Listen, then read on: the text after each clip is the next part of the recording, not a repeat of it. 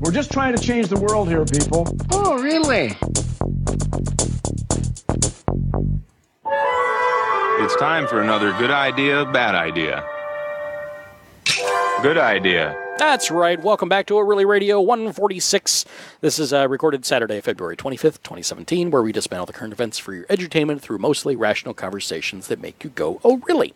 I'm your host, Andy Cowen, and I've got Daniel Atherton and Amber Bieseker going through the news with me today. And um, if we make mistakes, because we are human and we do things like that. So how about you let us know and correct us at Podcast at gmail.com or phone it in at 470-222-6759. You can also text. I'll take those too. All right, so some good ideas for a change. Uh, also, uh, listeners out there, if you have good ideas, go ahead and send them over to us. That'd be nice. Something, something current, something relevant, because you know we miss things. So, okay, the EU looks towards a carbon market reform. Yeah, their EU ministers are bracing for one one nasty battle over carbon the carbon market. Um, this was back on on on Friday. Um, the bloc's 28 nations are pushing for an accord after the European Parliament last week adopted a draft reform of the European Union's emissions trading system, also known as the ETS. Okay. The cap and trade permit system is the EU's flagship policy for meeting its climate goals by regulating emissions at uh, T1000 industrial and power installations. I think that's 11,000. 11. Okay. My my screen's a bit blurry today because T1000s I don't think should be in no, power no, or, no, or a, industrial centers. That would not be um, good idea, sir. it has suffered from excess supply since the financial crisis, which has depressed prices. Um, but EU nations are divided over three major issues the level of ambition and measures to strengthen prices, how much protection industry needs to remain competitive, and how best to manage funds to help laggards modernize their economies. Hmm. And as one EU diplomat said, we are bracing for battle. Um, huh. EU nations need a common position before beginning talks with Parliament and the European Commission. The final leg of EU legislation on the reforms tabled by the EU's executive arm more than a year ago. Uh, the bloc is also keen for swift adoption of what will be its first big piece of climate legislation since it ratified the Paris Accord on curbing global warming. The ETS is the EU's main tool to achieve its goal of a 43% cut in greenhouse gases from industries and power plants compared to 2005. It'll be negotiations until the death, one EU diplomat quipped. Another said most EU countries want a deal as soon as possible, but positions are still far away from each other. If they oh, fi- fail to find common ground on in talks on Tuesday, the issue will be bumped to the next environmental council meeting in June, delaying reforms. Huh. Uh, pushing measures to shore up permit prices are some eight EU nations led by France, Sweden, and Britain. Will be because Britain hasn't enacted Article 50 yet. They haven't Brexited. So they're still at the table. Yeah. They back the Parliament's proposal to double the rate at which the scheme's market stability reserve soak up, soaks up excess allowances. They are also mulling a plan to scrap permits above a set ceiling and an expiration date to cancel surplus permits after five years. For our member states such as Germany, Italy, Austria, and Greece, priority is being given to measures for ensuring that the regulation does not spur big industry to relocate abroad. So, um, so hang on what are we really talking about here? Are these permits to pollute? Essentially. Okay. This, there's a number of things going on here. Um, since there is a push towards green energy, and we've seen a number of EU member nations start really pushing their green energy yeah. The carbon market has been hit hard. There is a surplus for carbon based energy. Um, oh, okay. So that that market has all of a sudden taken a swift kick in the giblies, and they're trying to make it so. Oh hey, you you you're still profitable. We're we're not closing you up, and at the same time, Hmm. make it so that regulations that are coming now to ensure that their promise at the Paris Accords holds true doesn't send industry elsewhere, which is actually one of the things that the Republican Party is banking on. The That entire, we're going to bring more jobs here. This is one of, of, of their goals, is that the talks will fail Oh. and be pushed back further. So then they'll outsource things to the United States. Yeah, since we're deregulating. Fascinating. This is a mess, and the language is so obtuse. You have to be informed. If you want to be Yeah. part of the process, you got to educate yourself. Or get run over by this process truck right here. Obtuse language is a theme It is. to the show. It is. Yeah. I mean, reading through the, through legislation last night. Yeah. Jesus Christ. Yeah. Um, No, you you want to be educated because again, this we are a global community now, folks. Look Not- how easy it is. not for long. If nationalism continues to close off borders with walls, Yeah, but nationalism will stand in the way of economies, and money talks. Bullshit walls. Money talks. Yeah, that's how. um, so no, people are, are are playing up their nationalism, but at the end of the day, it's about who's getting that dollar. okay, wait a second. Why is this in good news?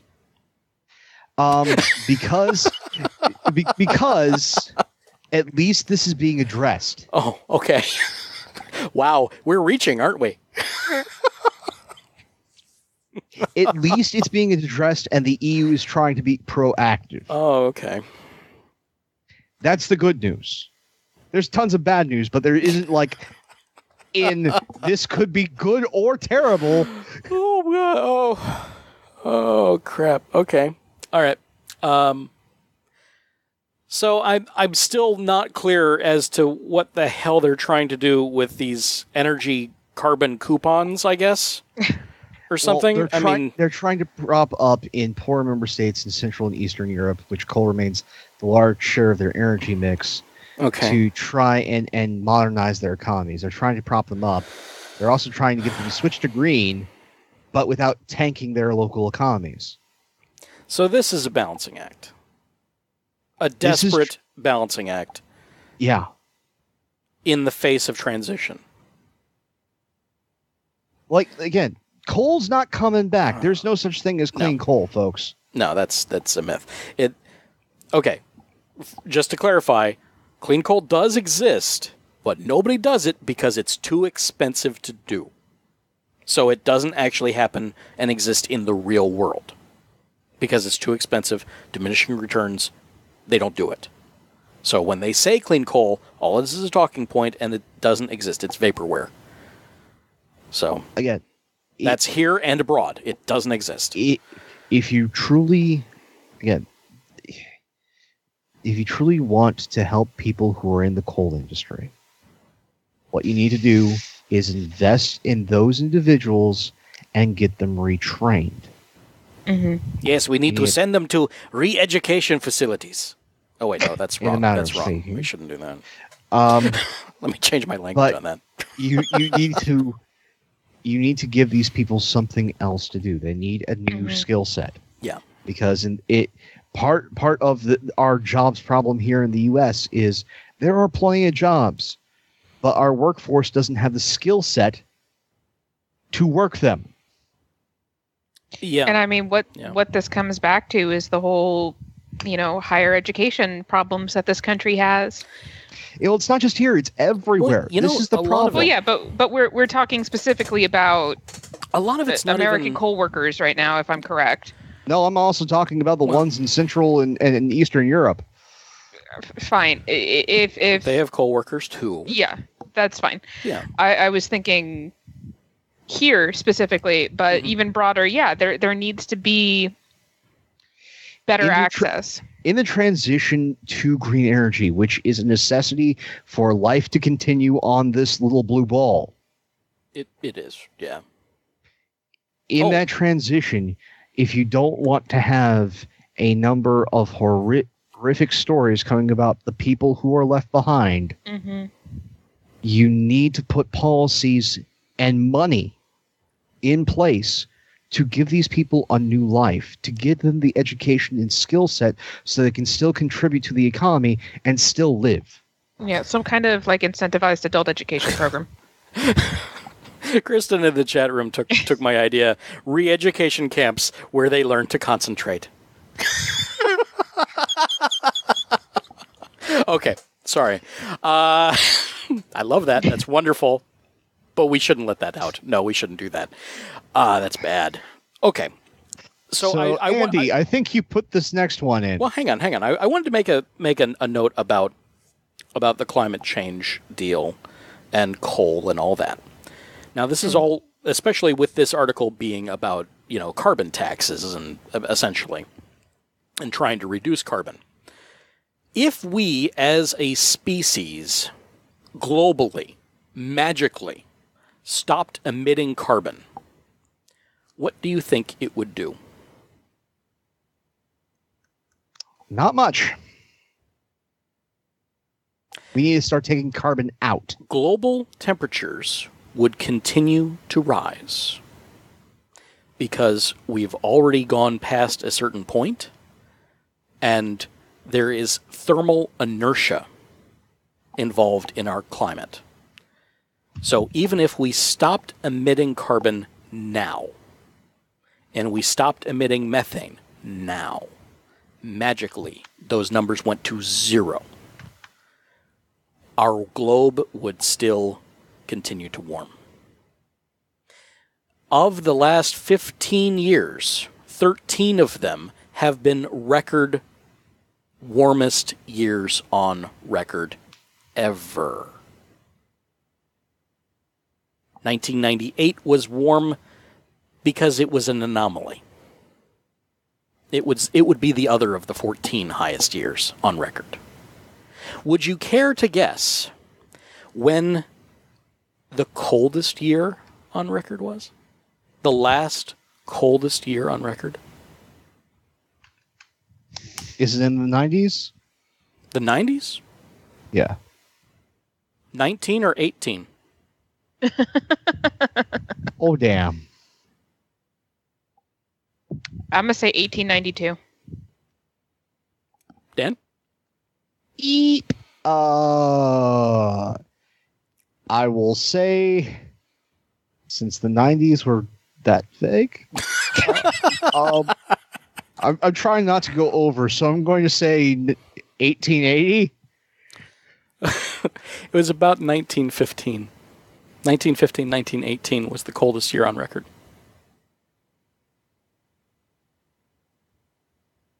We have been progressively getting warmer ever since and not had a colder year since then.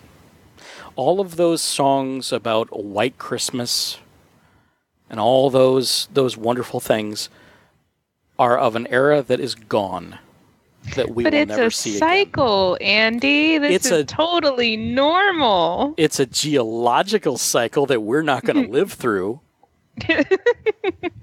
I mean, This sure, th- i- i- if we keep going on this, this is a mass extinction event. Oh yeah, we're no scientists have already stated we are in the sixth major extinction event right now. yeah, we're in it. We're fucked. Now. Like we already. We are doing it. We are causing it. The the most we can do now is damage control. There have already been Oh, no. species of monkeys that have died because it's too hot for them now. Yeah. We need to stop. Yeah. And there are technologies that It's we're not- coming up with It's not a matter of to stop. take carbon Yes. out of the system. It is a removal. It is we have to move not to a carbon neutral society. We have to move to a carbon negative society. and stay there for a while. Yes. It's the only way to change the global thermostat. And it's going to continue to rise in temperature. You know, slowly because these things are, are fairly slow, but it's going to continue to rise for over a hundred years. It's taken a hundred why you years need to go get into here. your town halls, folks, and hold your your senators and representatives accountable. the the problem is that their priorities are not where they should be. You know, No. obviously we think they they should be in one particular place, but they are The not. benefit of the species. That's that's a long term thing. They're going to have great great great grandchildren that will still live on this planet long after they're dead and gone. It is not their problem. Because you know, there are some of us we are not normal. Let's look at it that way. We are not the normal ones. We are the ones that see the lo- the larger picture and actually care about what happens to our great great grandchildren. We are not the normal ones. Can And we that's make the problem. Cosmos mandatory viewing? How many seasons of Jackass have there been? Point taken. Because there's one of Cosmos, and then one No, there's reboot, and two- then two. no, no, there's one season of Cosmos, and then one season of a reboot. Okay. That's it. The message is essentially the same. And Can we make them watch both? that'd be great. That'd be awesome. Mandatory you know- learning here. Yeah. Actually, hey, somebody in the White House Yeah. for, for, for Trump's TV time, put Cosmos on. That'd be, nice. That'd be nice. Yeah. Um, the the problem is, of course, education. If because we are educated in this, we know a, just a little bit about how the environment functions. We know the water cycle. We know how clouds are made. We know why the sky is blue and why the sunsets are red. We know these little basic things about the Earth. It's a globe. It's it is a globe. It is round. With members of the Flat Earth Society all around it. Yeah. They are not educated in this, or they're educated to a point where they think they know and then they stop learning. And our politicians are elected based on not what they know as far as science. I mean, the, the fact that Justin Trudeau, you know, our prime minister neighbor to the north, knows Actually, anything Yeah. about quantum computing is a miracle. don't know.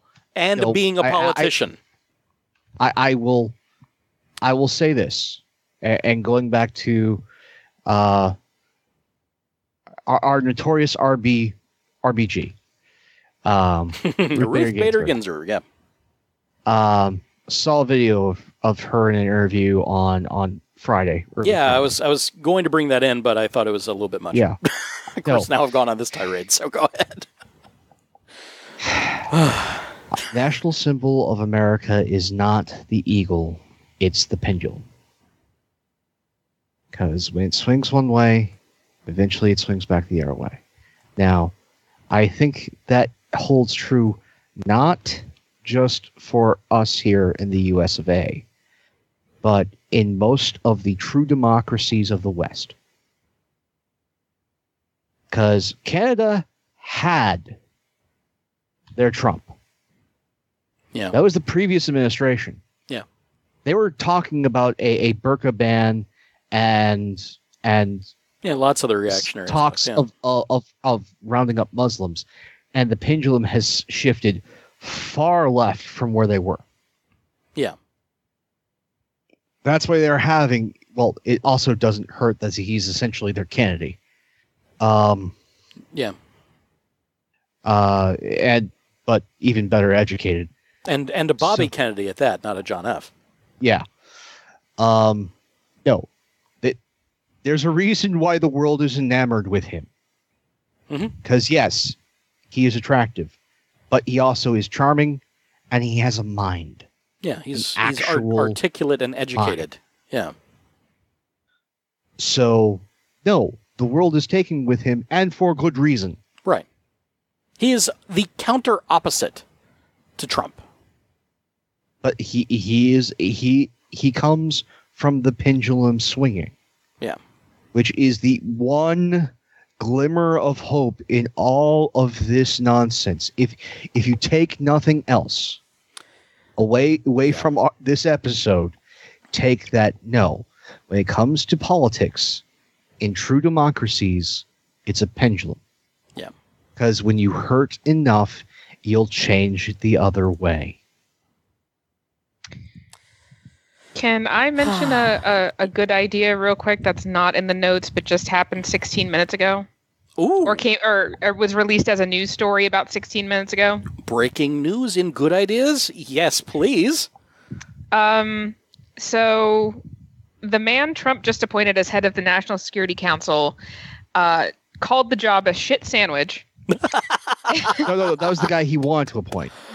No, no, this is. Or, yeah, you're right. No, I'm Okay. sorry. Yeah. Uh, that's that's the second choice. right. Yeah. uh, yeah, yeah. His first choice called it a, s- uh, a, a, a, a crap sandwich. Yeah. The, the second choice hasn't really said much. Uh, well, actually, what he just said, apparently, with a meeting um, with his staff today, uh, he told the staff of the National Security Council that uh, the label radical Islamic terrorism was not helpful because terrorists are un Islamic, according to uh, people who were in the meeting. Oh, yes, yes. Yeah. So he ISIS seems is to not of Was that- Islam. Was that Mattis?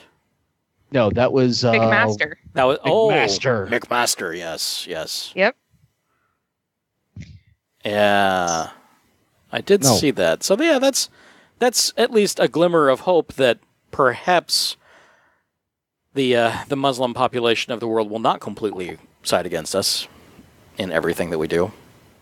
Again, I don't know. I'm still he's a military hopeful on that. guy. He he he has done maneuvers Yeah, I- I- where where we're fighting he's also educated himself on on the opponent. and the Mhm. culture. Yeah, And here's the thing: no, ISIS is about as Muslim as the Westboro Baptist Church is Christian. Baptist. Yeah, yeah, that, that's that's, the analogy I want to yeah. make. That that's how Muslim they are. Yeah. They are not Muslims. They were never Muslims. This is about power. That's it. Yeah, we could we could get into a theology debate about whether or not what they say actually is Islamic, because it's also the same thing with Christians too. It's like if Yeah. you're following your book, hmm just the book, then the Westboro Baptist Church is closer to authentic. Yeah, It depends on what part of the book, though. The whole thing. there. You're The whole you're thing in correct. However, in the context of the other language that's flying around and how Mhm. that's being used to demonize Right. Muslims who aren't radical over here, Mhm. I, that's important. It's it's very important. Yeah. The This isn't a what we have thing. well what we ha- what we have is a love for the middle universally we like moderate muslims we like moderate christians anyone that takes it too far in either direction is anathema to themselves to the own culture because the moderate Muslim universally rejects Islam, uh, the uh, ISIS. Yeah. The moderate Christian universally abhors the Westboro Baptist Church. But a lot of them say the same things. Mhm. You know, it's it's kind it's a really difficult argument because what they have to do then is they have to look critically at their own religion, and they're not really And big on doing that. No, they're not. They're not equipped to do that. No, A lot of people aren't, but yeah, because getting entirely off topic, the nature of faith is the nature of trying to seek a story that helps explain the nature of your relationship to earth and the esoteric. it's the seek it's seeking answers to why it's it's the answer to why No, well, it's not just the answer; it's also a narrative. We're, we're our Well, we like- brains are yeah, are, like are set up to want stories and to comprehend them. Right. Correct. Yeah. We are literally wired for story. There is a book called that that's really good. No, that that that's what Mhm. we're for, and the ultimate narrative is religion. Yeah.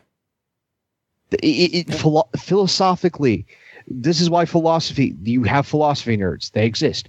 They but do. at the same time, religion serves an even higher purpose than even philosophy because it is a series of stories in a narrative about the big questions. Mm-hmm. And Yeah. for some people, they just want the answers. They don't want to even comprehend the stories. Mm-hmm. That's and that's the problem, is that they want the fast, convenient, easily digested answer. And they don't even want to necessarily they they don't want to experience it for themselves necessarily. Right. They just want to know. Yeah, just So they will allow Tell me themselves why, to be and I'll hand accept fed something Yeah. that's not even true to the religion they're ascribing themselves to. Right. Well, generally speaking, people, and again, this is a gen, just a general thing. Yeah. We have to speak They in want- generalities about entire populations, you know, They want to be led. In many they ways. want. Y- Well, yes. no, they, they they want they want answers. They want it to be convenient. They want it to Well, be but they simple and easily embraced. To but they also want boundaries in which to live their lives. to ask For some, yes. to ask questions. For most, they they want a framework with and I mean we uh, most of us do it, and it's not necessarily that we're we're talking about like they want to be told what to eat and drink like some No, Christians do. It's we Uh, like to have boundaries even if we plan on crossing them. So that we Yeah. know it, they- make us feel comfortable. I mean it's in It's early easier. learning It's easier than a blank space. Blank space is hard to fill in because you don't know where to begin. It provides a foundation. Yeah. It, it provides a foundation, even if the foundation is crumbling and rotting, at least it's an area to begin from. And a huge part of early childhood education and boundary setting or uh, a d- disciplinary action even is Mm-hmm. giving children boundaries Right. because it makes them in the end feel safer Yeah. that's also something that we look for and so people do take it uh, to the extreme of they need to know what they can eat what fabrics they can wear etc this is why people fall into cults because it's much easier to have someone tell you what to do and what to think Mhm. than it is to operate on your own Yeah, it's it's the um, also in marketing, it's the illusion of choice, yes where you know you can have any flavor of ketchup you want, as long Mm-hmm. as it's tomato. and i mean if even if you think about it that's why we trend toward government instead of anarchy Yeah, we we, like there to be some kind Order. of system Yeah. with some kind of boundaries. Even if we end up changing those boundaries or moving them, we have a jumping off point. Yeah, we, we tend towards order as opposed to chaos, which reinforces the narrative of you know there being a creator that wanted everything that way. Which is why humans in general suffer from a lot of ennui and and uh, anxiety and stuff, is because the universe is entropy, and we're basically fighting against universal law. But the the point of of what McMaster said and why it's important is because I, I, I think we've seen that ISIS, whether whether or not Islam does condone some of the things that they're doing, Mhm. ISIS doesn't give a shit. They they really don't care about. Mo- most of them don't give a shit Most. about Islam. Yeah, most They're of them, killing their own people. Oh, They don't they- actually give a shit. They Well- want power. Right, and that's a great way to Yeah. take it by saying, yeah, yeah, this is this is Islam because we can use this as something that Well, the people are already used to functioning under in order to control them. Let's take it as the cult analogy. Okay, so yeah, because exactly. essen- essentially they are a cult. You know, Yeah, just that's what I'm just like at. the Westboro Baptist Church is a cult. So there are members at the top of the of that organization that are simply power hungry. Mhm. You know, the L. Ron Hubbard of Scientology. You know, Mm-hmm. and then you get the other people in there that are true believers of the because Mhm. And whatever they are told, that is gospel truth. That is, you know, truth with a capital T. That is what they're going to believe. And those that, you know, and they very well may be the basic tenets of Islam, but taken to the nth degree. They're taken all the way. And then And, I mean- they then they, they do the, the same thing that Trump is doing, where they set them against their own. And we've seen this happen historically many times. We've seen dominating cultures come in and take from the old culture and revamp Mm-hmm. it into their own message to make the populace more easily controlled. We even see it in colonialism. Yeah.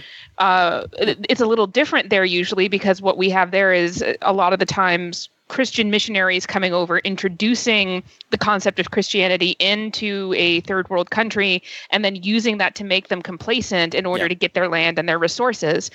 Sla- but you see slavery it here in the United States. Rome versus Greece. You see that mm-hmm. with Catholicism versus paganism.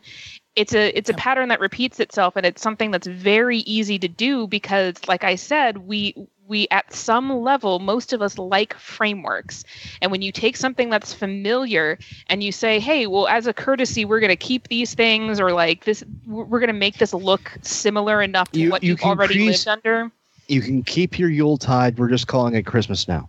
Exactly You can still do the same thing that your grandparents did. No problem. It's fine. you you appeal to them through what's familiar and this is something that's also really important in storytelling in general is that you don't need to reinvent the wheel and you shouldn't you shouldn't come up with something that's completely alien because most people won't be able to identify it with it be what rejected. you do yeah. is you take something that's familiar and you make it just different enough that it piques interest Yes. And that's why we have ISIS, and that's why we have the, the Tea Party, and that's why we have mm. even the Westboro Baptist Church. With you know, And- and and the entire Protestant Reformation, thanks to Martin Yeah. Luther. You know, the, And- it's just different enough. It's just, it's still comforting. It has all those basic things that we're used to, but well, those things that you were kind of questioning before, you know, you know we've gone ahead and done away with those, and, and here you can Well, do this. and, and Yeah. that's why we why political moderates can be such a problem is because they're seeing something that's familiar to them hmm but is slightly different so they kind of fall back instinctively on well but you know it, it's still it, it- I, I still feel It's comfortable still with this thing. conservatism. Yeah, Yeah. I still feel comfortable with these other things. So I don't really think it's that different, and it Right. takes them a really long time to come around. This is something that Martin Luther King Jr. talked about a lot with the white moderate and how the white moderate was way more of a danger to black people during the civil rights movement than the KKK were or openly racist people was because ideologically you never could tell exactly where they stood because they were still falling back on well Yeah. tradition essentially Yeah. versus They had moved you a little bit forward, but they still Right. had all the all the chains holding them back to the the same basic thing that was the problem to begin with. and the moderate could make racism palatable Right. because they were able to be like well yeah some of these things are bad but the core of it is still okay or whatever and they come up with solutions like you know It's not like they're murdering them. right. yeah exactly exactly yep Yeah, and and that's where that's where we are. We've just in the last, you know, 15 minutes or so explained 2017 and why nothing matters. yep So, and man, we just can't have good things. We can't have nice things, can we? We just immediately take them to this place. we really did we really So, how about some sweeter sex? yeah Yes. okay. good idea oh gosh. Okay. So a counselor. Screw easy transitions. Yeah. There's no no. Just rip the band-aid off. Um. Yeah. Oh, a, a, ch- a counselor for the town of um, Overtorne wants Swedes in his town to take a one-hour paid break from work to go home and have sex, according to the Swedish paper The Local. The local. The local. That's that's the name of the paper. It's the local paper. It is the local local, The Local. paper. Yeah. Um, I even want ha- to I have a link actually to the local, local. It's uh, the local.se. an hourly local. An hourly local. Hmm. Is that what they're going to call it now? Um, and then return to work. Yeah. Um, okay. Uh, it's a it's a fun thing here. Let me uh, let me pull up the uh, the imagery. So yeah, I on, don't think you need to pull that up. Oh, come on. It's risque, right? Okay. So, uh, not only are they known for the Word office. fika breaks, uh, you know, coffee, coffee breaks, and generous parental leave, now Swedes in town in a town in northern Sweden could be offered the chance to have sex during work hours without losing any pay. um, it's about having I think- better relationships. The, I, I, I think that would fly here, Yeah. except with the corporate overlords. Exactly, yeah. Th- There are studies that show sex is healthy. Uh, per Eric Muskaus, a 42 year old city councilor for the town of Overtorne, uh, told the AFP News agency after presenting the motion. I uh, said is couples were not for you. spending enough time with each other in today's society. He noted there was no way to verify that employees do not use their hour for other purposes than spending time with their partner or spouses. Uh, quote, you can't guarantee what, that a worker doesn't go out for a walk instead. You cannot guarantee they go home and stoop That's right. This is a dude who wants to fuck one of his aides on company time and get paid. And get paid. this Uh, is what this is. This is some afternoon delight right here with his secretary. Well, not, not, not, not just secretary. I, I, I- I love all the women. All the women. Why is he Russian? Um, I don't know. Yeah. we do He's a not have a good Swedish accent. I'm sorry. Um, no, cannot do it. if Just if we did, if we did, it would be it'd be the Swedish chef from up. I was going to say the Swedish chef.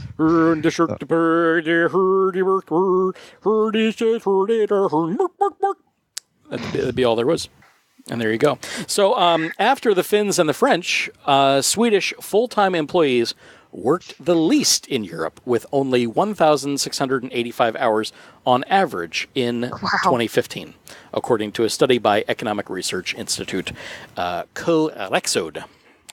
and they're still perfectly productive. Brits worked on average 1,900 hours, and Germans uh, 1,847 hours in, in 2015. I don't know how many hours I have worked, but I know that it's more than that. Yeah. I can and- tell you it's more than 19. What's Yeah. interesting is that there is a lot of um, data in support of a four hour workday being the most productive option for people. Well, Um, Yeah. the mind uh, for for for most people the mind can only focus on an unpleasant or repetitive task for 3 hours. Well, we're, we're- we're getting into the principle of workflow, Yeah. which Well, I'm we're, we're getting a lot of studies on. Yeah. Um, there's some stuff from Rutgers, Duke. Uh, we're, we're seeing some some other places come out with stuff here in the states, but it's more heavily studied. Surprise, surprise. Elsewhere, um, both in Europe and also being now studied in Japan, since they work incredibly hard, Yeah. sometimes to death. Yeah. Um, High suicide rate. Just uh, just for a, for a reference here, I just calculated, you know, 40 times 52. That's 2,080 hours. Yeah. That's a full-time employee. So let's say 32. You're working 180 hours more than the British. a 32 hour work week is a little shorter than what uh, than what the Swedes are doing at 1664. Now, i- i- in in in a lot of stuff that I'm seeing, um, slightly different from what you're seeing, Amber. Uh, it's you can. It takes about an hour to, to half an hour to an hour to achieve flow, Mhm. and then you I can too much. maintain flow for four to six hours. So you're looking at a five to to seven hour day. And I know in a lot of places in Europe they have a 35 hour work week, Germany Mhm. being one of them. Um, I also know just okay for for me and my current health issues. hmm I am I am pretty much forced to take Fridays off due to needing a time during the week just to see my physicians. Okay. A, a regular time of the week that that can be scheduled so it's not constantly disrupting the work week. That makes sense. Yeah. So for me in, in my, my personal health, I'm doing, you know, a, a, a 32 hour week. So they're doing they're doing the standard eight hours a day, not a not a ten Yeah. hour. Because So- four tens is a thing. 10, tens is a thing. Yeah, Um, but no, I'm doing I'm doing 32. I routinely run five tens. Yeah. I, I I just did. It's like okay, well let's see, fifty two times fifty two. Oh, that's two thousand seven hundred and four hours. Yeah, that's my life. That's not healthy.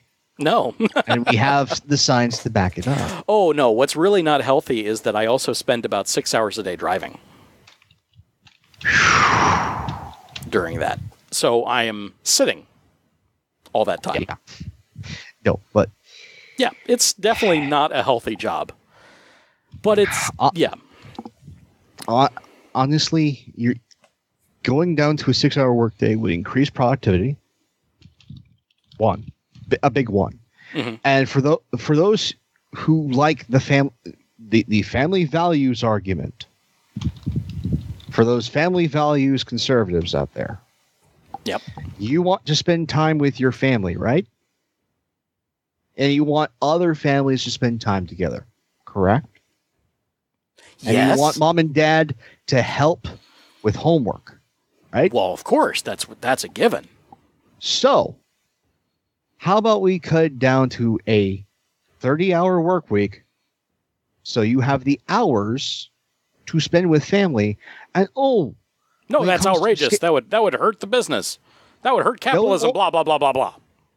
it won't hurt the business because I can show you a wonderful place over in Cali that went down to a five hour day. We don't trust people in California. They're all smoking the reefer. Yeah, but when you're taking a, a surfboard business and going from it being, you know, making a couple of hundred thousand dollars a year to a multi million dollar business Yeah. by cutting back on hours and making everybody's salary, there's something working there. Yeah. There are ideas. There are some wonderful ideas out there, and we would. It'd be nice if we could actually have more companies feel that they can get out of the this typical rut of, of doing things on a, a regular level. But you know, Well, no, he- here's the thing Yeah. you can, and it's more profitable. yeah, but not you all. want to make you want to make all the money. You want to make all the money? This is how you make all the money. but here's the problem with that. That is a private company, isn't it? Yeah. they can do that. When it comes to a shareholder driven public company, they don't care about people at all. It's all about the bottom line. It's not it's not even caring about people. It's increasing their bottom line. Yeah, but the thing is, they want to see growth in particular areas because if if you ever read the perspectives on companies and their stock and how they're doing, how they build their their employee base and the way they do their business and things like that, they there's a line somewhere about work life balance and about how they're in happy employees or voted, you know, the top five or whatever, uh, you know, best companies to work for, as voted by people that have a gun to their head, you know, things things like that, and the rest is all about how they're going to drive profits. It's all about driving profits. It's it has nothing to do with the getting the people themselves to deliver better for the company. It's just the company is going to deliver better. You are just a number in corporate America. Well, And you also have to consider things like it's cheaper to destroy one person by making them do the job of three people. Yeah. That kind of thing. Yeah. but it's less productive and productivity drives sales and numbers. Mm, you can make somebody be pretty productive if the only other option is starvation. Not not only that, but Not, large not in the economic terms. large Not companies, not in the business terms. companies that have in excess of 10,000 people. Mm-hmm. Okay. The the company that I work for in, in, as a day job, I'm not going to say their name, but they have 44,000 people worldwide. Okay. And we are numbers. In my department, Uh, two years ago, there were 15 people doing my job for the entire state. That got cut down to five in an afternoon. In addition to that, our support staff that handle things like hardware, they were cut entirely, which means we inherited their job also. And on top of that, a lot of times what happens is when they make cuts, um, occasionally when they'll hire in new people, they they will lower the salary to the point where you need the job. Right. That That's why you see jobs that like require a master's and everything else, and the starting pay is 25k, is because they know they can rug you run you ragged because you're desperate, and you, your only other option is to in this economy, um, you know, a lot of times to starve or to end up Take in such a bad less. Exactly. And so it's a whole system that's engineered to be cheaper to the company and the employer in that they're not paying you what you're worth. They're not paying nearly as much as they were for the team that inhabited your job previously. Right. And a lot of times they have you working off the clock. Yeah. This is something that's extremely common. It was at my last job outside of what I do now. I run my own business now. But at my job before that, where I was a project manager, I would routinely watch our general manager walk into the warehouse and tell everybody to clock out and keep working. It's like, but it that's illegal.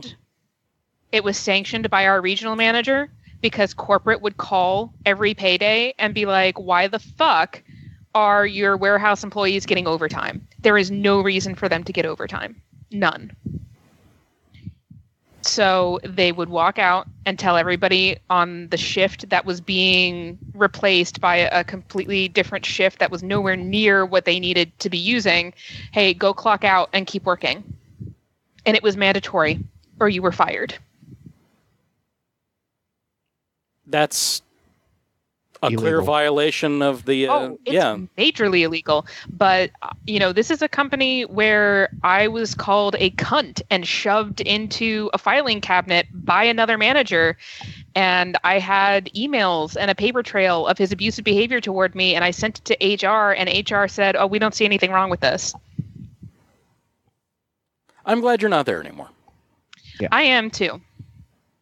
They tried to they tried to move me uh, out of spite to an outdoor working area at a desk sitting in the unventilated warehouse, surrounded by a chain link cage. As a project manager? Mm-hmm. Yep. Because by that point they were sick of me. They fi- there was at one point two female managers and that was it. It was me and somebody else. She got fired for standing up for the warehouse crew. And also for making mention we we both got in major trouble for making mention of the fact that the ceiling above the women's restroom had been collapsed for 6 months. Uh, debris and mold everywhere, and the general manager refused to do anything about it. Um, so there was really only one bathroom that could be used. Um, Just we got in major trouble for that. She got fired basically. She did that, and then the rest of her career was just them pushing her and pushing her and pushing her and pushing her and treating her worse and worse and worse until inevitably she was fired. They did the same thing to me, only I wrote an email that morning where I was like, if this is the way it's going to be, I I can't stay here, and they took that as a resignation. Oh, and the regional manager, the one that that uh, I had the altercation with, Yeah. the biggest smile on his face when he shook my hand and said, "If that's the way you want it, no problem." Wow. So companies, many I've, I've watched them do this. how many people in that company? Uh, I couldn't tell you. They're all up and down the East Coast. Um, they've got some West Coast facilities now. I Hmm. think um, they are a consistent problem with their biggest client. Um, they were they were a company that handled extremely important products like uh, infusion therapy for cancer patients, and who would routinely fuck that up by not having any type of storage facility that was air conditioned or refrigerated the product would go bad Um, we would have time commit deliveries for 3 p.m. because that's when the nurse would be there to administer to the patient. That we would deliver, you know, six hours late, nine o'clock in the evening. Yeah, and one of the the biggest structural problems was that um, management on my level, the actual project managers who were actually overseeing these accounts directly, like we were the point of contact, we dealt with the drivers who were handling this kind of stuff. We had exactly zero authority, except to get yelled at for the failures of the people above us. We couldn't fire anybody. We had no ability to discipline anyone. We we tried writing people up, but management wouldn't approve it. We there was nothing we could do. I was not allowed to take a time commit driver and pull them from something that they were doing that was not time commit and tell them you deliver that fucking medication. I wasn't allowed to do that. Nobody was. Wow. But they're a nice cheap option because all of their actual employees that do the the delivering Mhm. are independent contractors. Oh. So they're a nice cheap option. Welcome to right to work states, where we have the Mhm. right to fire you, and so that you can't work. And with independent contractors, they have no rights whatsoever. No. None. No. So I mean, I've seen this happen as a manager. I, I've seen companies work this way and make shit tons of money off of it. I was working at the end. I was working 12 to 18 hour shifts, and I was salaried, so there was no overtime for me. Right. Yeah. Um, and I would watch them walk up to hourly employees and say, "Clock out and go back to work," and they'd be there two, three hours extended past their their uh, clock out time. And if anybody ended up going over for any reason, they got uh, written up. There was disciplinary action. Total Department of Labor whistleblower kind of stuff needs to happen. But there. nobody, it was highly discouraged through Of things we had seen happen to other people Yeah. that anyone would say anything. You should have called Uh, all of them on your way out the considering a lot of our drivers were um, of questionable immigration status. Ah, Oh. So no one wanted to say anything. Um, and the people Oh. who did uh, were summarily fired. And it just. I mean, we talked about this before. That when you when you feel Wow. powerless already, you're not likely to Yeah. go up against a big company because their legal team versus what you can afford isn't necessarily. Yeah. So. Yeah, but you, you can't afford to. Oh. Oh, uh, Mo in the chat room saying I used to work for those extra hours all the time. OT never approved. Yeah. Oh. Okay, so so much for good ideas. We're not good at the good ideas, are we? Um, well, we, Kind of our we got show. some good news. VW set the cap on executive pay. oh, really? Oh shit. Yeah, How uh, how good is is that executive pay now? still better than anything I could possibly hope for. Still Yeah. staggeringly large numbers. Oh, so, okay. Let's see. So let's look at this one real quick here, and then we'll move right along. Under new new rules, pay will reflect financial performance more closely. Chief executive package will be limited to 10 million euros. Uh huh. Yeah, limited to 10 million euros. That's actually quite small, quite modest compared to many. with a 5.5 million euro cap for other board members. Okay. So good. Good to see that they're they're cracking down. Um, okay, yeah, I'm just gonna move right along. Uh, Japan protests Russian military buildup. Well, yes, that's that's a good idea for them to do. I have to applaud that. Um, is there something special about this other than yay? they're doing it? Uh, th- this is where I go. Well, this is good, but there's also some bad here. Son of a bitch. God damn it. Okay. So yeah, I- I good. just- good. I, I have to rain on all the parades. good. They're today. protesting. Good that it's international attention. Okay. So what's the bad news? okay. Well, um, This is now going to be the. so what's the bad news segment? okay. Oh God. So, right, right, right now, um, Japan is, is voicing uh, anger over con- it continued Russian aggression over its plans to boost troop strength on disputed territories, disputed islands. Yeah. Uh, Japan's top government spokesman said on, on Thursday the latest move in a territorial role that has overshadowed ties since World War II. Uh, Chief Cabinet Secretary uh, Yoshihide Suga told a news conference the government was closely monitoring Russia's actions and analyzing information. Um, th- th- this is ahead of uh, Japanese Prime Minister uh, Shinzo Abe and Putin meeting December um, to strike numerous economic talks, but failed to achieve a breakthrough on these still disputed territories. Um, Russia continues to try and actually bridge a gap, but without ceding anything. Right. Uh, and doing a, f- the further look back and whatnot, it's the good news is Japan is still saying no to Russia. That's the good news. Okay. Um, the the bad news is Russia is continuing to try and offer an olive branch, but not actually give anything but maybe the branch. you can't have the olives, but here's this stick. Yeah, Whap. that that is what Ah. Russia has been trying to do this entire time. Is go no, those are strategically necessary. Um, we don't care how you feel, but we want to have economic ties. Yes, da. Um, Mhm.